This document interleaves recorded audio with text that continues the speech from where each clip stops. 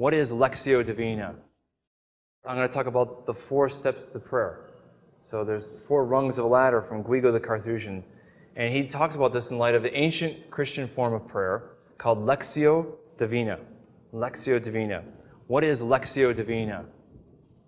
Lectio means to read, Divina, divine. So this is what the monks call the sacred reading. And the sacred reading was the normative and fundamental way of Christian prayer. It tended to die out like the four senses of Scripture. Those two waning at that time are not accidental, I believe. But this ancient method of Lectio Divina really began to die out after the Reformation and especially with the Enlightenment. And it became scarcer and scarcer. Pope Benedict has been advocating for renewal of this ancient form of Christian prayer, Lectio Divina. In fact, I want to give you a quote of something Pope Benedict XVI said on the 40th anniversary of Dei Verbum, Vatican II's constitution on the Word of God.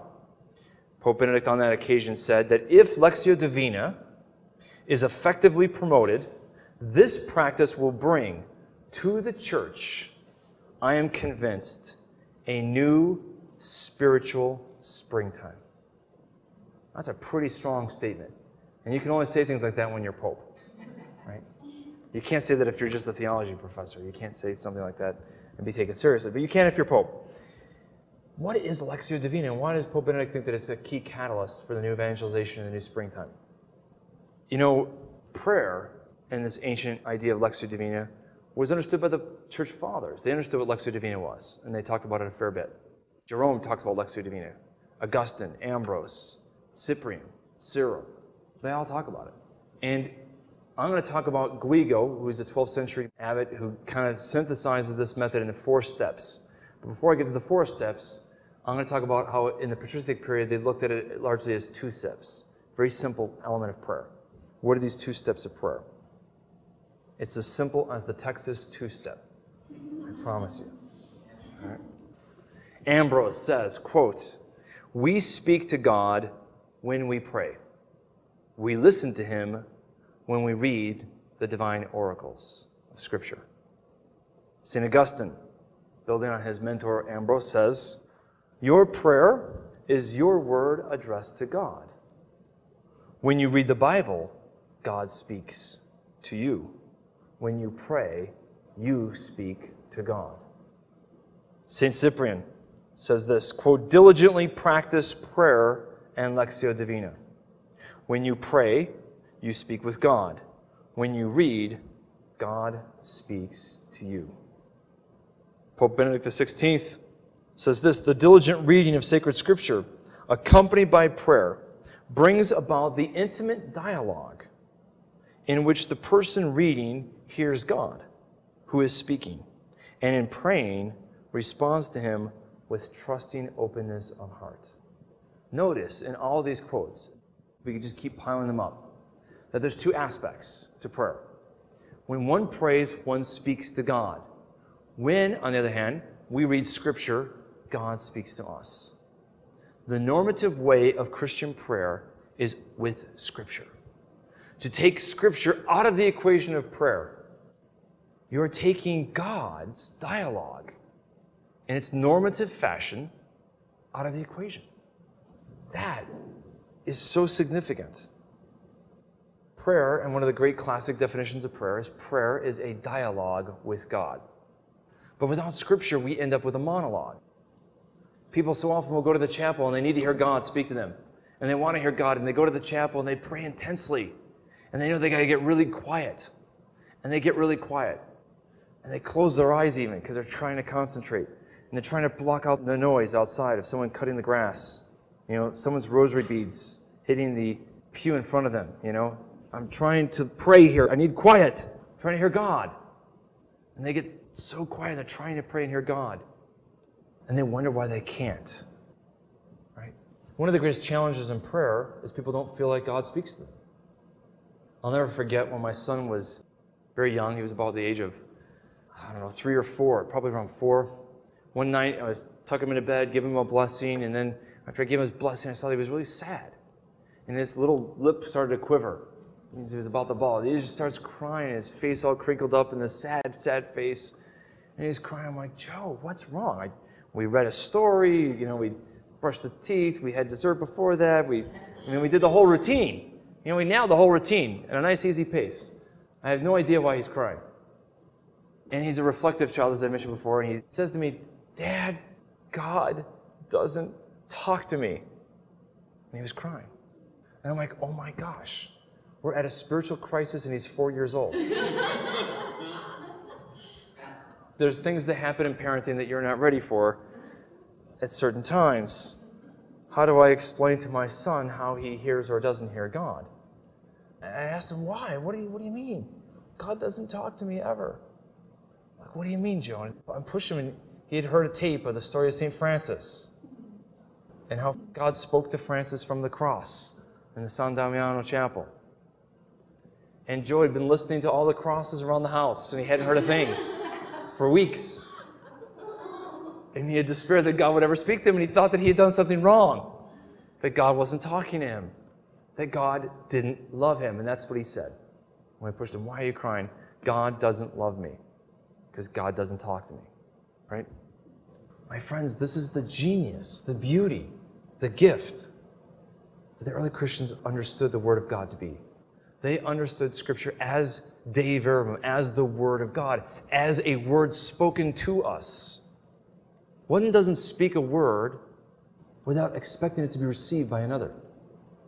To speak a word is to assume an other. To communicate is to assume someone who is the recipient of that communication. God's word is a word addressed to us. It's a word of love. To neglect the scriptures as the word of God is then to neglect the fact that God has spoken to you, to me, to us. But that gets us to the challenge how do we hear God in the scriptures? Pope John Paul II in Novo Millennio Ineunte, which was kind of his blueprint for the third millennium and for the new springtime. It was kind of his, you know, John Paul II kind of as the coach. And he's telling the team, here's the strategy going into halftime. Here's what you need to do going into the third millennium. And in that, one of the central aspects of that beautiful document that the Pope bequeathed, in a sense, a last will and testament to the church going into the third millennium, Pope John Paul II said we need to seek the face of God.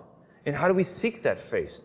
Pope John Paul II said, quote, It is especially necessary that listening to the Word of God should become a life giving encounter. In the ancient and ever valid tradition of Lectio Divina, which draws from the biblical text the living Word, not a dead word, the living Word which questions, directs, and shapes our lives. That's crucial. That's crucial. And Pope Benedict saw the game plan, and he's taken that page of the game plan and he is magnifying it, and he's talking about Lectio Divina all the time. Indeed, we're getting ready as the church. There is going to be the Synod on sacred scripture. And it's taken as its title the last chapter of Dei Verbum on the Word of God. Scripture in the life of the church. And in the working documents for that synod, one of the primary motifs is Lectio Divina. The church is going to have, as its marching orders from the synod and from the pope, a renewal in Lectio Divina. But how are we to make this word a living word that is a living word and a living encounter with us? You know, the challenge to that, I think, is best put by the great philosopher Ludwig Wittgenstein. Ludwig Wittgenstein was a wonderful philosopher, especially of words and of the meaning of language. He's kind of a linguist, a philosopher of, of linguistics, so to speak. And Wittgenstein made this observation once that I think is profound. You can't hear God speak to someone else. You can hear him only if you are being addressed. Let me say that quote again because I think it's profound. You can't hear God speak to someone else. You can hear him only if you are being addressed. What does Wittgenstein mean by that? It's what my son had discovered when he was four years old. The profundity of that statement. You can't hear God if somebody else is being addressed. What is meant by that? You can't hear God if somebody else is being addressed. What Wittgenstein is suggesting is that if we hear sacred scripture, the Bible, as a word addressed to somebody else, we won't hear God speaking to us. This is the secret of the saints. The secret of the saints is that they attune their ears and their hearts to hearing God's holy word as a word not addressed simply to Moses or to James and John or Peter, but rather as a word addressed to them. That's the key. That's the key.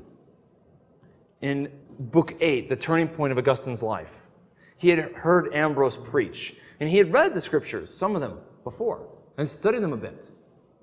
But he hadn't converted yet. He had put it off. You know, that old line of give me chastity, but not yet. But that wasn't the only element that was holding Augustine back. It was a key factor, as he says. But Augustine has some visitors, and they tell the story of St. Anthony and how St. Anthony, this rich young nobleman who just gets this great inheritance, and he wonders what God wants him to do with his life. He's just got this tremendous inheritance, and he's a free man to do whatever he wants with his wealth, with all these estates he's inherited. And Anthony wants to know what God wants him to do. Anthony, this young man, wants to know what God's call is on his heart. So he immediately goes to the church, and there's a liturgy going on.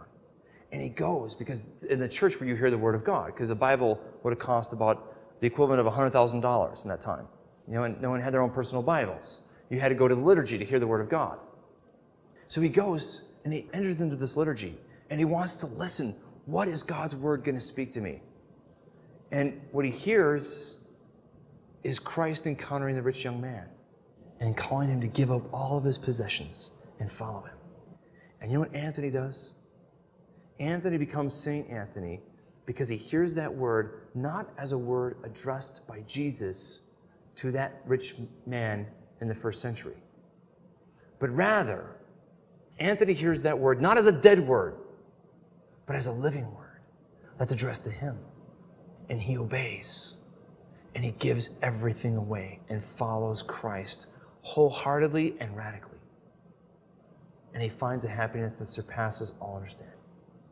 Augustine hears the story and it tears him up. Because Augustine has means, he has this affluence, he has this success. And he has also heard Christ's call tugging at his heart. And he hasn't wanted to obey and listen to it and take that risk that Anthony took. So he hears how Anthony took the risk, and it's killing him. And his heart is breaking. So he says at the end of book eight, I went on talking like this, you know, saying, How could these people do this conversion and I haven't? You know, and he says, I went on talking like this and weeping with the intense bitterness of my broken heart. Suddenly I heard a voice from the house nearby, perhaps of some boy or girl, children I do not know, singing over and over again, Tolle lege, tolle lege, which is one of our models at the Augustine Institute. Take and read. Take and read. My expression immediately altered, and I began to think hard whether children ordinarily repeated a ditty like this in any sort of game. But I could not recall ever hearing it anywhere else. I stemmed the flood of tears and I rose to my feet, believing that this could be nothing other than a divine command to open the book, the book of Scripture, and read. And I read the first passages I chanced upon, for I had heard the story how Anthony had been instructed by the gospel text. He happened to arrive while the gospel was being read, and he took the words to be addressed to himself. And he heard, Go and sell all your possessions and give the money to the poor, and you will have treasure in heaven, and come and follow me. So he was promptly converted to you by this plainly divine message. Stung into action, I returned to the place where Alypius was, sitting. For on leaving, I put down there the book of the apostles' letters. I snatched it up and opened and read in silence the passage that my eyes first lit upon. And what does he read? Romans 13. And in Romans 13, it says, Awake, for the night is far spent. And it goes on, he says in Romans 13, I'll read the passage here briefly. Chapter 13 of Romans, verse 11. Besides this, you know what hour it is, how it is full time now for you to awake from your slumber. For salvation is nearer now than when we first believed. The night is far spent. The day is at hand. Let us then cast off the works of darkness and put on the armor of light. Let us conduct ourselves comingly as in the day, not reveling in drunkenness and debauchery and in licentiousness. Remember the quote, Give me chastity, but not yet. Not in quarreling or in jealousy, but put on the Lord Jesus Christ and make no provisions for the flesh to gratify its desires. Augustine hears that word as a word addressed to him. In other words, Augustine hears God speaking to him through the medium of the Word of God. And that's what happened to Anthony. That's what happened to Augustine. And that's what happened to so many saints. Hearing the scriptures as a word addressed to them. Because Ludwig Wittgenstein is correct. You cannot hear God if someone else is being addressed. In other words, you cannot hear the scriptures as God's word to you if you think it is only a word to Moses, Abraham, Peter, James, and John, and Mary. You will not hear it as a word to you. And you'll wonder if God loves you. So, that, I believe, is the secret of the saints. Prayer is a dialogue, Scripture is an essential component. St. Teresa of Avila said, I would never go to the chapel for my prayer without a book for meditatio. She was a mystic. Now, I want to talk about Guigo because he takes this method, this dialogue, this two step dialogue, reading scripture, praying to God, and he breaks it into a beautiful, simple method that became the classical method for the Middle Ages. Guigo's classic work called A Ladder for Monks. Guigo's work he wrote to a friend of his after reflection about the nature of Lectio, and this is what he says at the beginning. One day, I was engaged in physical work with my hands, the old Benedictine, right, way of working and praying. Working with my hands, and I began to think about the spiritual tasks we have. While I was thinking, four spiritual steps came to mind, namely, lectio, Meditatio, Oratio, and Contemplatio. So here we have our next four. So lectio, reading, meditation, prayer, contemplation. Notice, by the way, prayer, oratio, is the third step. Contemplatio is the fourth step. I think that one of the great challenges that people find in prayer, they find prayer difficult, is because they're trying to reach to the higher rungs. They're trying to start with oratio and contemplatio, and they wonder why it's out of their reach. It's just out of their grasp. It's just so hard. It's because they're trying to start climbing the ladder at its top. Not something I recommend.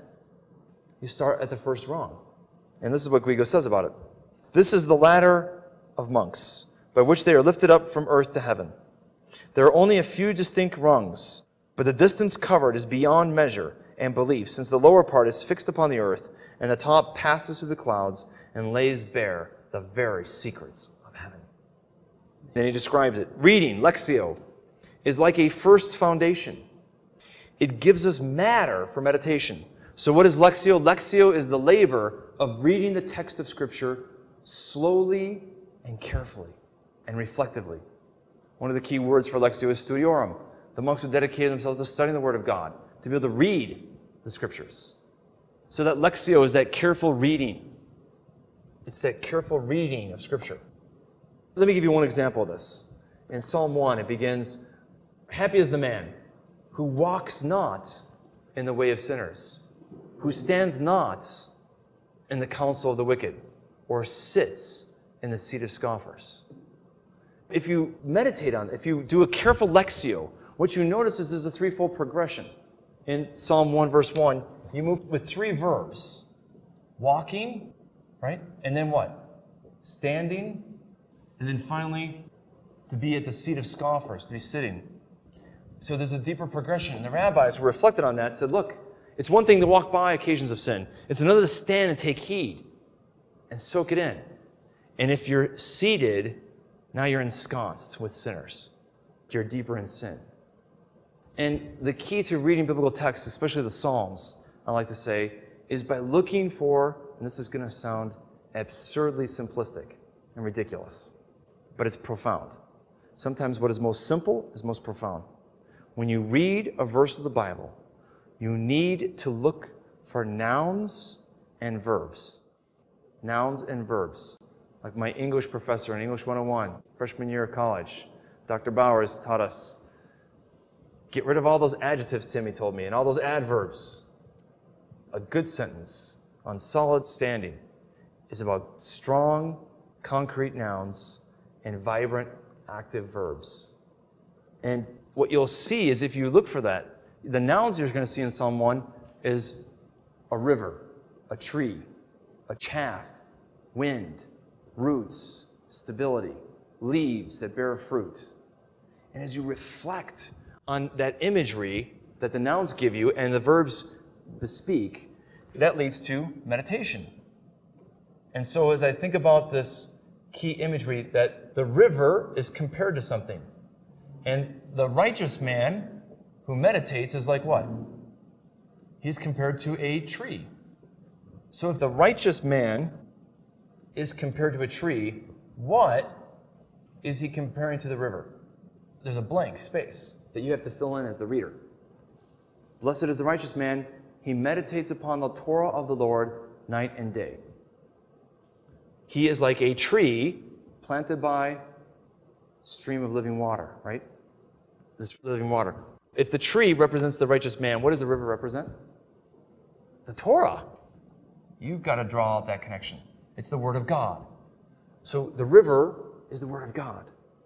The tree is the person who meditates, it's the person of prayer. And the person of prayer is rooted next to God's Word. So the righteous man is the person who prays, person who prays. And the river is God's Word. And notice that Psalm 1, which begins the five books of the Psalms, begins with a tree with a river. What does that remind us of? Because now, as I move into my meditation, what's my meditation? It's my mind reflecting on this careful lectio. So, in the lectio, I see the key things I'm going to focus my meditation on. And as I think about why is the tree a metaphor for life? In the Jewish context, what does that reference? What does that connote? Fruitfulness, but what else? Where in the story of Scripture do we find a tree next to waters? The Garden of Eden. And what I realized then is through a life of prayer, I have access to Eden. So a life of prayer gives me access to Eden, where God dwells. And what's a good image of that? That makes me think of the temple. As I'm meditating, I make connections with Scripture. I realize Psalm 52, Psalm 92 all mention how the righteous man is like a tree planted in God's temple. Well, that's an odd thing. The idea of trees planted in the temple. But if you read 1 Kings chapter 6 carefully, you would notice that Solomon, in all the walls of the inner sanctuary, had carvings of trees. Why? Because the temple was the new Garden of Eden. And what's the greatest image of that? Who guards the Garden of Eden at the end of Genesis 3? Two angels. What angels? Cherubim. Two cherubim. Where else in the Bible? Only two places do you see two cherubim. Psalm 63. Like your wings in the sanctuary that I see that protect me and hover over me, over the Ark of the Covenant were the two cherubim with their outstretched wings. So the fact that there's two cherubim in the inner sanctuary of the temple is to remind any Hebrew who's read the story of the two cherubim that guard the Garden of Eden. In other words, the temple is the new Eden. And so now that leads me to a meditation on prayer as encountering God as a sanctuary, as a new Eden. And then as I pray about that, it gives me a desire to be close to God, to have access to God, to encounter God. And so now in my oratio, I ask God, God, I want you. I seek your face. In fact, the Hebrew word for face is usually translated presence. I seek your presence. Right? As the psalmist says in Psalm 63, I long, my heart faints for you. I look for you in the sanctuary, and I contemplate your glory and your power. And then this is where I dialogue. See, this is where I start a conversation with God. If you define prayer simply as conversation with God and you don't have these first two steps in, people find prayer very challenging. Why? Because if I sit you down with somebody you've never met before and I say, have a great conversation, are you going to have a great conversation? No, the conversation kind of starts a little slow, right, when you first meet somebody, and then you find something that you share in common. And all of a sudden, the conversation picks up intensity. And as you share that intensity of something in common, then all of a sudden, wow, you start sharing a lot more. Today, I met somebody I'd never met before for lunch. And we found out that we shared something in common in terms of we both have one child and we both adopted. And we started sharing our adoption experiences, and they had all these parallels. And it led to this incredible, intimate sharing and the beginning of a great friendship. But the conversation starts out slow until you find that common ground. Well, what happens is people want to talk to God when they don't have something in which to talk to Him about. Notice what is the key to conversation? Having what? A subject. Having something to talk about. What Lectio and Meditatio does is it gives you something to talk to God about. That's what Lectio and Meditatio gives you. And that feeds prayer. This is what Guigo says. Listen to what he says. Reading is like a first foundation. It gives us the matter for meditation. Meditatio seeks more diligently what is to be sought. It is like digging that finds a treasure. It's a reference to Matthew 13, 44 for those who have ears to hear. And digging finds that treasure. And so we are led to prayer. Prayer raises itself up with all its might toward God and pleads for the desirable treasure that is sweetness of contemplation. In other words, we dig in Lectio and find the treasure, and that treasure gives us a deeper desire for the deeper treasure that we seek and ask for and talk to God about. And then that treasure through contemplation is given when we taste and see the goodness of the Lord. And notice that meditation engages primarily the mind, the intellect. Contemplatio, and this can be controversial for a lot of modern day Catholics who are reacting against a lot of liberalism of the 60s and 70s that talked about experience. You know, catechesis was hijacked by this experiential catechesis. And the focus became away from God and onto man. But we don't want to overreact against that and throw out emotion and experience. And there's a danger to do that because in all the ancient writers about contemplation, the key element here is experience. And the experiences of joy, peace, a deep joy and a deep peace.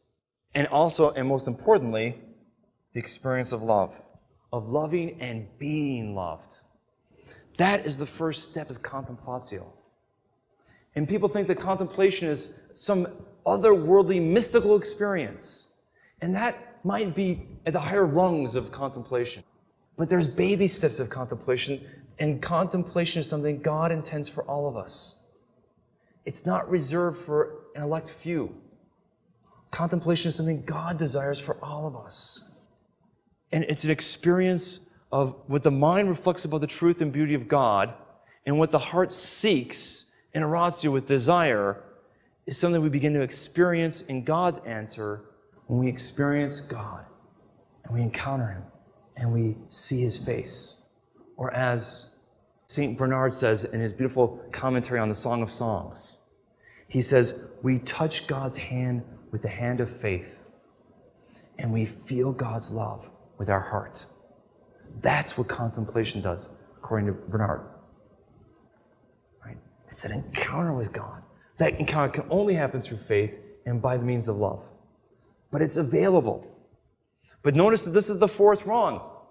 And so many Christians go through an early conversion or a livening of their faith. And they want to pray. And they want to go in there and they want to start talking to God, but they find talking to God very hard and boring. And then they also found they want to experience contemplation, but they're trying to start at the third and the fourth wrong rather than the first two that build the steps to get there. If you neglect the baby steps, you can't run before you walk. And that's why this method that was so inculcated and taught to all Christians is a dominant part of the Catholic tradition. For us to lose that method, this is why Christians have gone crazy with amnesia of losing the tradition. And so they go to the Buddhists, they go to yoga poses, and they try breathing to figure out how to get to contemplation. Because we've forgotten what our faith teaches us about how to find God and how to pray. And it's precisely that method that created saints. You know, Guigo himself became famous after he died as an abbot. Many of the local people in the village would come to his grave to pray and ask for his intercession. But his grave was in the courtyard of the monastery, so they'd have to come and knock on the doors. And pretty soon there was people who were being healed and miracles were happening. And it, it became famous. It went beyond the village. It went to the nearby villages and the nearby county. People found out that Guigo was a powerful intercessor. So people come in all hours of the night and bang on the doors of the monastery. And the monks were losing sleep and they were getting aggravated. And it was interrupting their times of prayer and their times of sleep. And so the new abbot went to the grave of Guigo. And he said, I am the new abbot and you're under obedience to me. And I command you to stop performing all these miracles. And then not another miracle had happened at Guigo's tomb. right? But the point is, these four rungs, this ladder to heaven works. And many people reach great sanctity simply through a life of Lectio Divina, a life of prayer. Through that life of prayer. There's so much to say of all this. Let me quote Pope Benedict again on this. Pope Benedict says this Among the fruits of this biblical springtime, I would like to mention the spread of the ancient practice of Lectio Divina, or spiritual reading of sacred scripture. It consists in poring over a biblical text for some time, reading it and rereading it, as it were, ruminating on it, as the fathers say, and squeezing from it, so to speak, all of its juice, so that it may nourish meditation and contemplation, and like water, succeed in irrigating life itself. The Catechism and Dei Verbum say that Scripture is a font of the spiritual life. Here, Benedict uses that imagery and says that we can irrigate life. This is the spiritual irrigation method. If you've ever traveled much in Colorado, you'll see a lot of farmland, but you'll notice all the farmland in Colorado has something in every major farm field. What is it? A sprinkler system. They have irrigation ditches and lines and all these complicated legal things of water rights with these different irrigation ditches. You can't farm in Colorado without irrigation ditches that give you access to water channels that you then connect up to your hoses and your long, big sprinkler systems. You can't farm effectively. Pope Benedict is saying, here's our irrigation. My friends, we are planted in the desert of this world. And if you want to be spiritually irrigated, you've got to take this supernatural irrigation system of Lectio Divina. If you're going to be a tree planted by living water that will yield its fruit in its season, you've got to be rooted and planted by the living water of God's Word in prayer. If you don't dedicate yourself daily to that living water, to that living Word, because all of your study is simply at the end of the day a reflection and a study of that Word. But if you make that study only an intellectual pursuit, only an academic exercise, you'll miss the fact that that word is a person. And then that word is a word spoken to you, just as it was to Anthony, just as it was to Augustine. And if we're going to bring a springtime to this world, we have deeply got to be nourished by that word. And we have to have the capacity to hear God's word as a word addressed to you and to me individually. And if we listen to that word and are open to the radical call and demands that word places on us, if we can overcome what Augustine had, and that was fear of obeying that word, he was terrified of the cost of discipleship. But if we can have the courage to listen to that word and let it shape us, God can do great things in you and through you if you just let. That's our call. That's our call. The Catechism in paragraph 2560 says this It is He who first seeks us and asks us for a drink. Reflecting on the woman in the well. Jesus thirsts. His asking arises from the depth of God's desire for us. Whether we realize it or not, prayer is the encounter of God's thirst with ours. God thirsts that we may thirst for Him. Finally, what I want to say is if these four steps of Guigo become the classic model from the medieval tradition, and there's something that St. Francis de Sales adds to this that I would add a fifth step, like an appendix, a little addendum. And I want to give you a quote from St. Francis de Sales on the importance of meditation, but there's a great danger in meditative prayer that he talks about. And he says this. This is in chapter 8 of Introduction to the Devout Life. Useful hints on meditation. St. Francis de Sales says this Above all things, my daughter, strive when your meditation is ended to retain the thoughts and resolutions you have made as your earnest practice throughout the day. This is the real fruit of meditation, without which it is apt to be unprofitable. Notice that, and then he goes on, he's going to warn not only can meditation be unprofitable, but meditation, prayer and meditation can be dangerous. Why? Listen to what he says. This is astonishing. Without which it is apt to be unprofitable, if not actually harmful, inasmuch as to dwell upon virtues without practicing them lends to puff us up to unrealities until we begin to fancy ourselves all that we have meditated upon and resolved to be, which is all very well if our resolutions are earnest and substantial. But on the contrary, hollow and dangerous if they are not put into practice. You must then diligently endeavor to carry out your resolutions and seek for all opportunities, great or small. And then he gives examples of this. And what's his point? Francis de Sales is saying, look, when we meditate and reflect with spiritual reading on the virtues and on holiness, the danger is if we spend a lot of time reflecting on virtue and holiness, we begin to assume that we actually have those things. We begin to assume that we're actually virtuous because we've read so much about virtue. We actually think we're holy because we read about so much holiness in the Gospels and in the Bible and in the life of the saints. And we begin to liken ourselves as holy and saintly.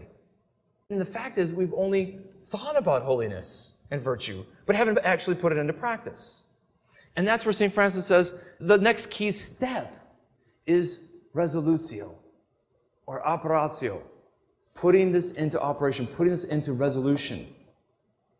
My spiritual director has told me for years about resolutio, and I've got to do that in my prayer. And I was, ah, you know, meditation is what's really important because I'm intellectual.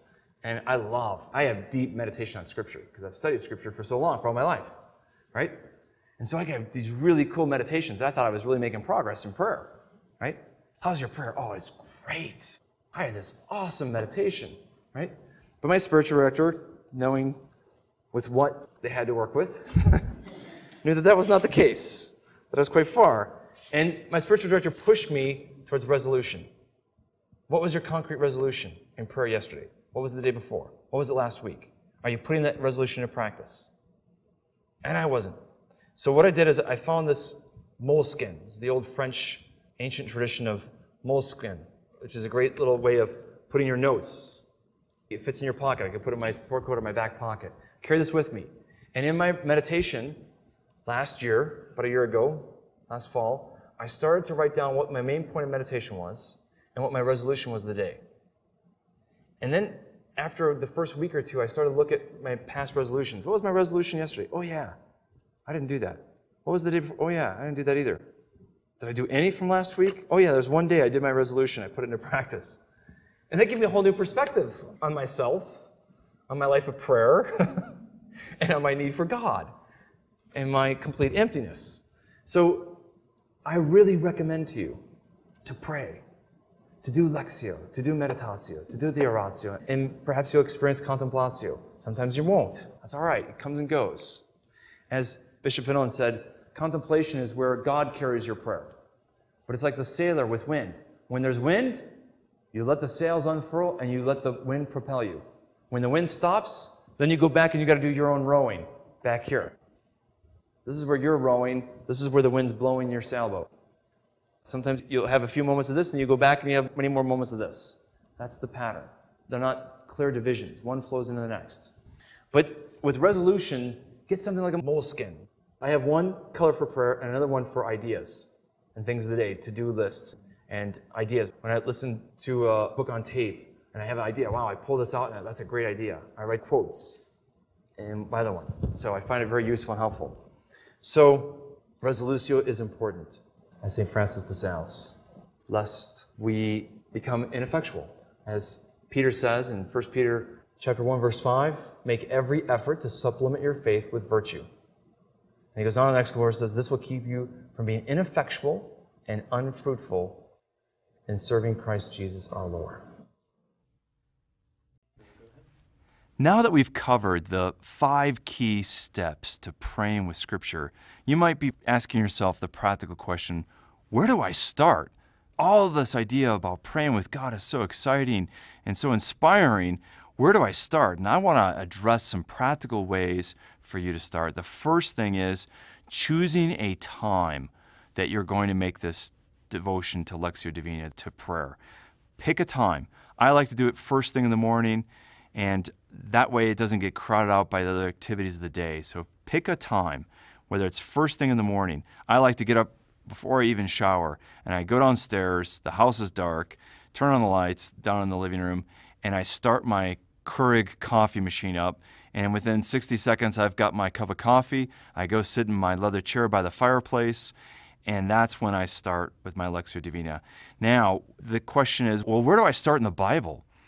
And there's two places that I really recommend to start your devotion to praying with Scripture. And the first place is the Gospels. Nothing beats, there's no better place in all of the Bible to start praying with Scripture than the Gospels either Matthew, Mark, Luke, or John. Start with one of those four Gospels. In fact, the church says that of all of Scripture, the Gospels are, in a sense, the sacred heart of Scripture itself. So it's a great place to start. The other place to start with Lectio Divina and praying with Scripture is the Psalms. I love the Psalms. We have 150 Psalms, and they're written as prayers to God that are inspired. And so it's a fabulous place to start as well. In fact, I think the Gospels and the Psalms are so important. That must be why the church, as a good Holy Mother, knows best how to teach us because the church gives us a reading from the Gospels and a psalm every day in every daily Mass. You know, you think of all the different genres of the Bible, whether it's laws or prophetic writings or historical writings or epistles and letters. The one key genre or actually the two key genres that the church gives us on a daily basis, every day, is the Psalms and the Gospels. Because those are the key to a healthy spiritual diet. Those are the kind of the, the key nutrients, so to speak, spiritually that we need. And so the Holy Mother Church knows how to feed us well as a good mother. Now, a great place to find that is in the morning prayer or in the liturgy of the hours that the church has. And a simple way to do this is just go to the daily mass readings. And you can, you know, Google that and you can find daily mass readings. What's the reading of the day? But another fabulous way to do this is very simple and easy, and I love easy, is the Magnificat. Magnificat has a monthly subscription that has morning prayer and evening prayer, and it has the readings for the Mass for each day of the month. And so, you know, if you get a subscription to Magnificat, it's really reasonable and cheap. Then you can get that nice little volume and you can put your Magnificat right next to your prayer chair where you're going to pray. And then you can open up and it says, you know, Magnificat for October or for May. And you say, okay, it's May 3rd. And I open up my Magnificat to May 3rd and bam, I've got morning prayer, which is going to give me several Psalms and several readings from Scripture. And then I've got my readings for the day. And so I suggest that you just plan ideally 20 minutes to 30 minutes for your prayer time. Start with 20 or 15 minutes to begin with, but then work your way up over a few months to 30 minutes. That's a great time of prayer to do Lectio.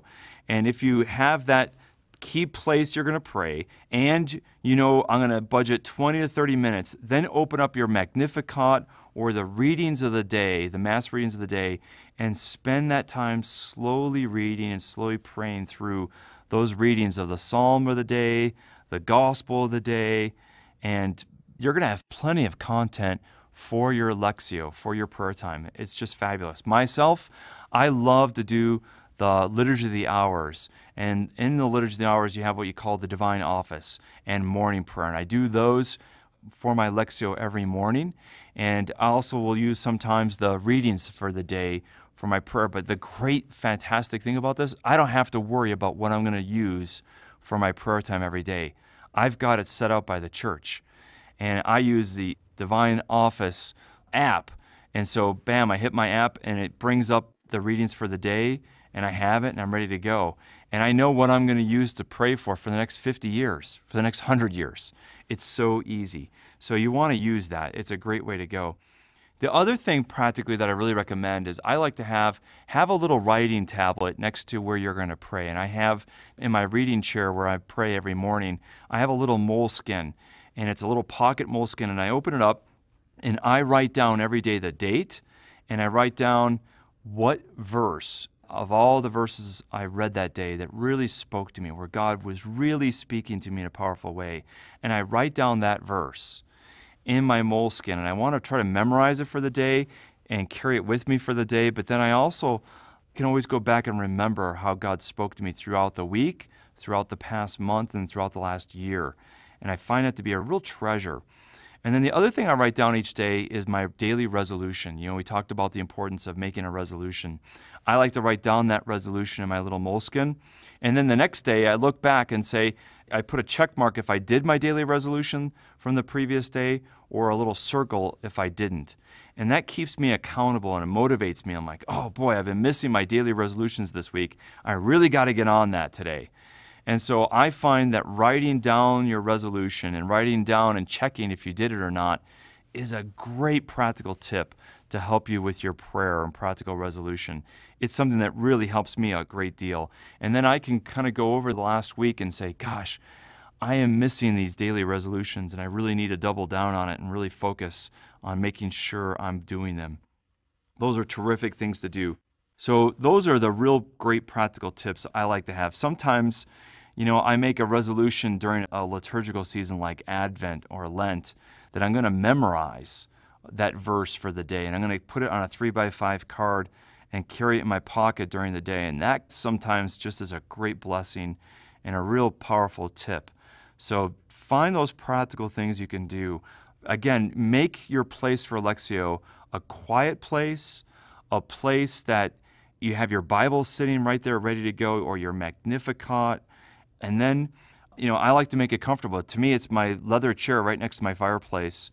It's a comfortable place. I can't wait when I get up to sit in that chair, have my cup of coffee, and talk with God and to listen to what He has to say to me in His Word.